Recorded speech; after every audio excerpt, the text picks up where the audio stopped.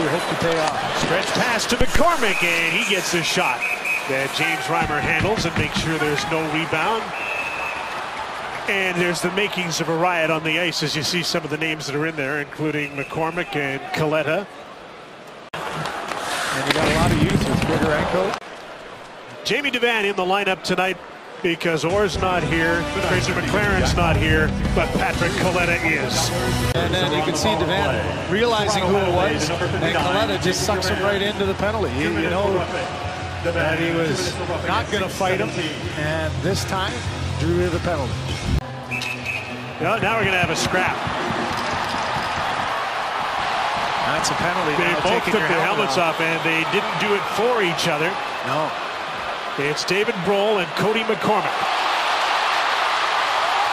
And this season it's a minor penalty for taking your helmet off, and that's why we've seen in a couple of exhibition games where combatants have helped each other by grabbing onto the other guy's helmet and taking it off for him. Well, we mentioned trying to make an impact. McCormick not in that role. He's been a veteran guy, has some NHL experience, but Broll with an opportunity Broll didn't hesitate, waste any time at all. You could see Devane coming and talking. McCormick came to him, and there was no hesitation. I think McCormick realized once Broll took his off, he better reciprocate. So it shouldn't be a power play situation, just more penalties for him.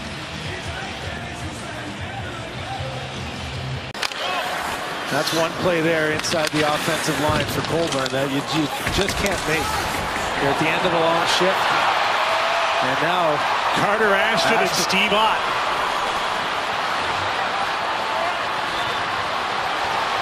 Jim, you mentioned the inexperience of Buffalo, but look at the two guys who have been in the heart of everything. Kaleta and Ott have tried to stir things up.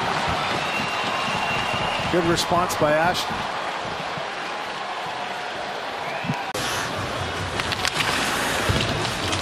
There's the hit and the extra little push that Ashton took exception to.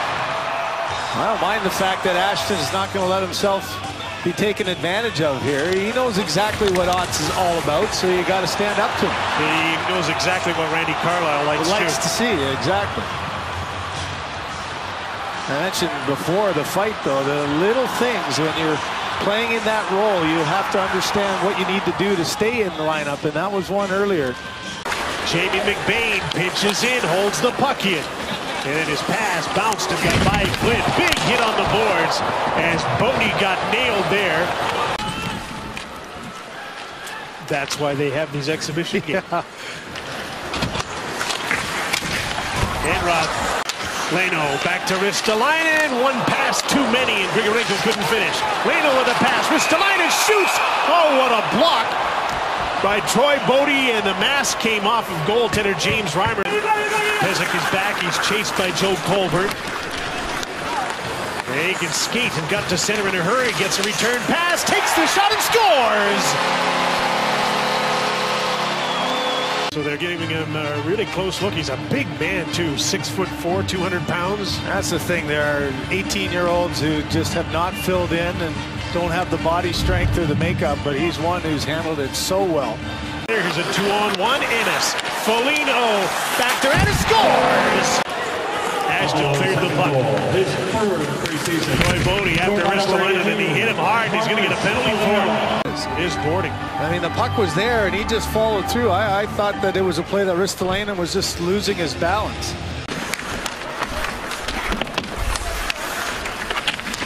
Into his partner, Mark Fraser. Patrick Kaleta, Jamie Devane come together along the boards.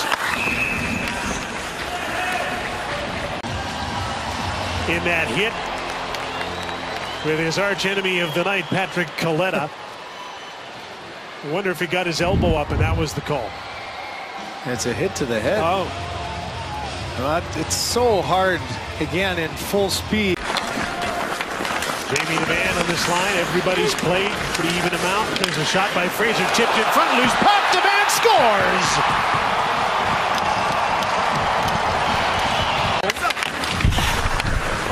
We still have four exhibition games after this. Here's Jay McClement, one man back. Ashton goes to the net, scores.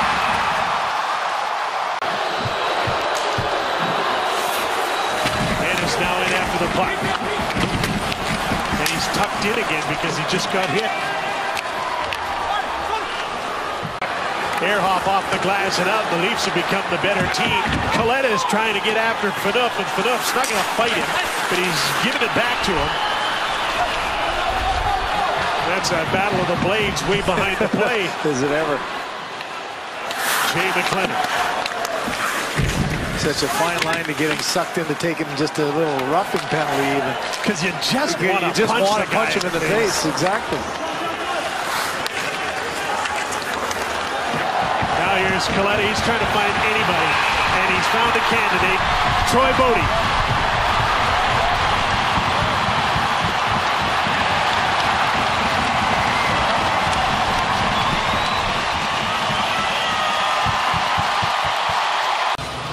And Kaleta, as you mentioned, he was after Dion Phaneuf. And So that's why Bodie came credit. Bodie, yeah. He, he went right after him, dropped his stick, talked for quite a while, and then I guess Kaleta figured he was engaged. There was nowhere else to go. Kaleta with a run at Phaneuf and then this as the play went on.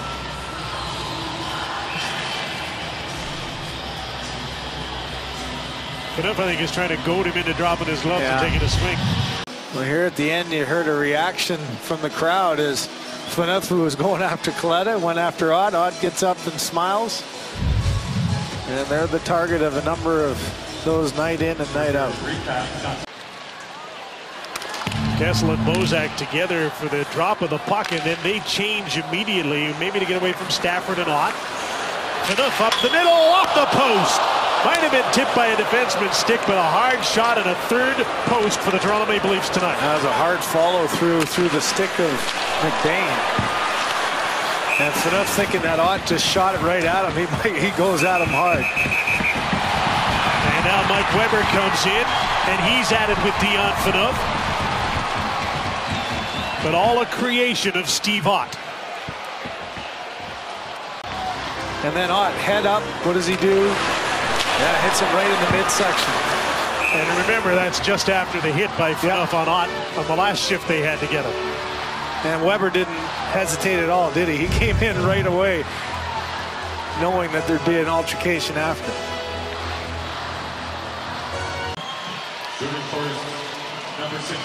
Tyler Ennis will lead things off for the Buffalo Sabres in the shootout. Ennis against James Reimer. Nice recovery by Reimer after that fake slap and deke. Yeah, it's a tough play for Reimer going to his blocker side to stay up long enough to take away the lateral angle. Good effort, moved the puck sideways, but look at how he was able to lunge with that blocker and keep it up and not give him any open net. Mason Raymond in his tryout is getting to try out every aspect of the game. And here he is against Jonas Enroth in the shootout. Second chance wouldn't have counted anyway. That's a tough play. You know, Raymond at times has done the spinorama like that. This time, when you're coming in from that angle and you stop yourself, it's so difficult to get it up. And that was one that Enroth just had to take away the bottom part of the net. Mikhail Grigorenko, 19-year-old in against Reimer, and a nice save by James Reimer. And he showed it to him, didn't he? Looked like he tried to give him, maybe lost his net for a split second, but a great recovery by Reimer, and that must feel pretty good, throwing that back in the shooter's face. Right-handed shooting centerman Tyler Bozak.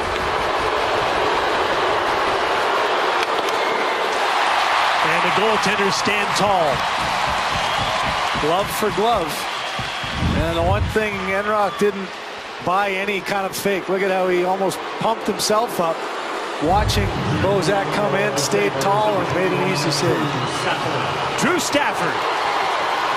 Still no goals in the shootout as Stafford slowly weaves in.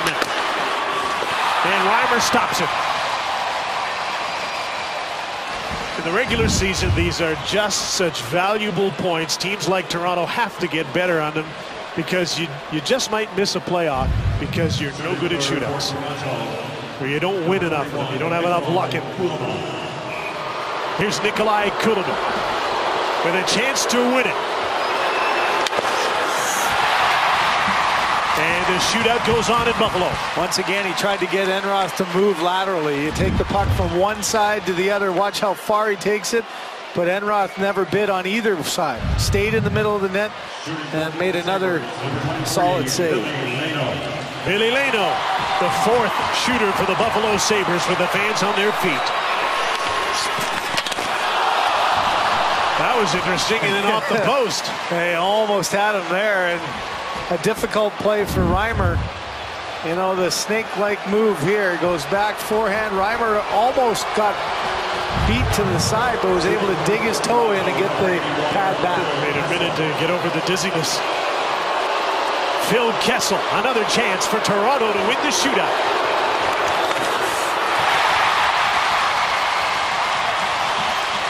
Eight shooters, no goals.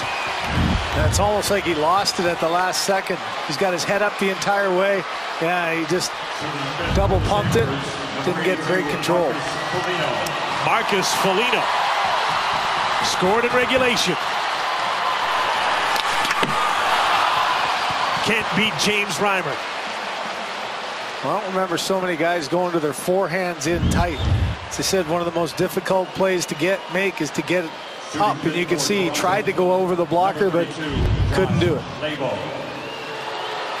Josh Leivo called up today to take David Bolland's place in the lineup, and here he is with a chance to win it, and that's off the glove of goaltender Enroth.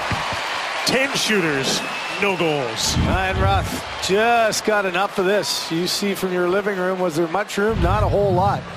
They almost squeaked it in. There's Brian Flynn. Shooter number 11. Nothing doing. What time's that next game start?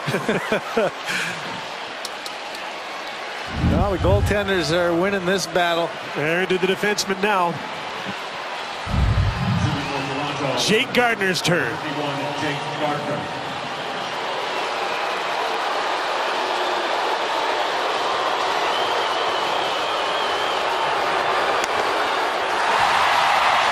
Another glove save for Jonas Enroth. And a dozen shooters have failed to score. Well, you wonder what the talk on the Leaf bench is with the gloves because that's about the fourth that has gone right there, and Enroth able to stand up. Well, he's become a fan favorite in Buffalo, and the lid will come off the first Niagara Center if Steve Ott beats James Reimer. He tried to put it through him. you see, I almost got down on one knee trying to force that one through the five hole. Almost like he saw that he was cut off and tried to stuff it underneath the pad. Nice job of Reimer getting that pad down solid to the ice. Trevor Smith. Another chance for Toronto to win it. And another save by Jonas Enroth. You do the tally? How many now? 14. oh for 14.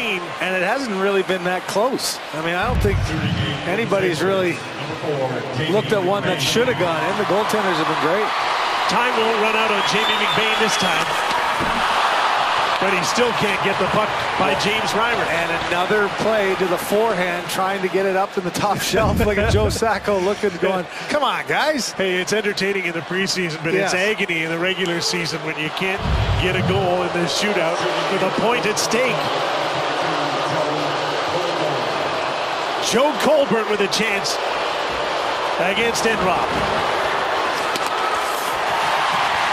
16 Okay, whatever happened to the old fake shot, forehand, backhand shelf? I mean, so many guys here just cutting themselves off. Another example. There's no way to get that puck up. Easy save for Enroth, just taking away the bottom part. Best Buffalo Sabre in the regular part of the game, Mark Pysyk. Goal and an assist. Tried to off-speed him. Yeah, maybe he'd get a gravity drop over his glove. Oh, boy. Look at this. You beat it. Yeah, he did. He tried to just just finesse it up. Finesse one in. Look at Reimer looking at him. Come on, kid. What are you doing? Shooting nine Stuart Percy. Stuart Percy, 20-year-old rookie, shooter number 18. Oh, that was a tough save. That's a good aggressive move with a little bit of speed, and Enroth read that perfectly. Percy backhand turned, and uh, the puck rolled on him a bit, but tried to go 14 inches stick side. We are guaranteed of 20 shooters in this shootout as Kevin Porter becomes the 10th Buffalo Sabre to have a try at James Reimer. Wow. And the 10th to fail. Just too bad your save percentage doesn't get inflated yeah, by these yeah. shootouts like this. Exactly. Both goaltenders just not buying any of the fakes, not overreacting. And here's an interesting story. Paul Ranger. Bit of a smirk on his face. Yeah. Who, me? Ranger and Itrock. uh, well, at least a smile in exhibition. Yes, right? indeed. You know that it's the preseason. When a, when a point is on the line, I'm not sure he'd be all that happy with it. But good for him. And a slash from Enroth. Watch Enroth as he goes by. Oh, He's like, come on, you kidding me? Oh, gosh. Patrick Kaleta, Nothing doing. Well, goalies, they got to be getting a little giddy by now. I'm real tired of this. The 22nd shooter, and there hasn't been a goal. Dion Phaneuf. I dare say he won't kick his stick. How about a slapper? Just, Just wind in. up and slap yeah. it. Oh, another glove save. Wow. This is getting comical. Well, they've tried everything. They're predictable, though. I figured don't overplay it. Come in with your power, but Enroth, the windmill after and stares at him. Here's Christian Ehrhoff. Here's another guy who could wind up and slap it. Shooter number 23 tit for tat. Ah, now you go, am I headhunting here? if this was a real rivalry, that's where you start getting worried. Go right between the goaltender's eyes. Well, when Paul Ranger kicked his stick, that signaled anything goes. Yeah. And then Dion Phaneuf slapped it, so Ehrhoff traded off, did the same thing. David Broll. Oh.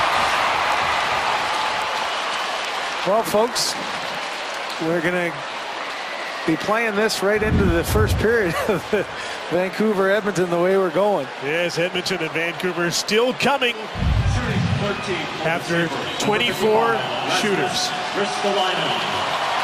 Here's the rookie, Rasmus Ristolainen. That's a great save. That was a good move. Little forehand, backhand, and Reimer, to his credit, fought that one hard. That's a difficult save for the goaltender. Watch him reach and just get a piece of it with his knob of his stick as the young defenseman thought he had it. Number 37, Carter Ashton had a pretty good game here tonight. Helped create a goal that tied the game, and here he has a chance to win it. I would say the scouting report, if it did say go glove on Enroth coming into this game, I think you can eliminate that. 26 shooters and nary a goal. 14th Buffalo shooter, Cody McCormick.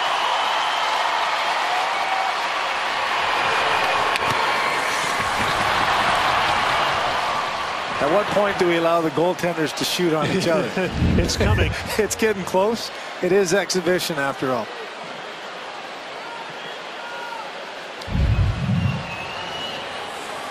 Both benches thoroughly amused by this as Carl Gunnarsson is the 28th shooter. Not even close.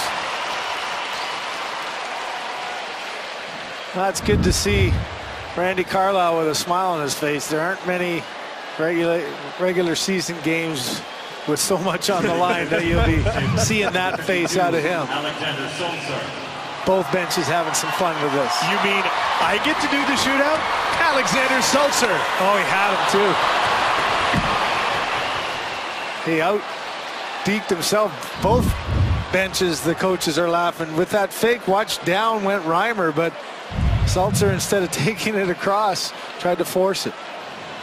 Well, Jay McClement tied the game. Can he end it? Jay McClement, the 30th shooter, scores! And the Toronto Maple Leafs have defeated the Buffalo Sabres in one of the wildest, most bizarre shootouts you'll ever see. Regular season, preseason, anywhere.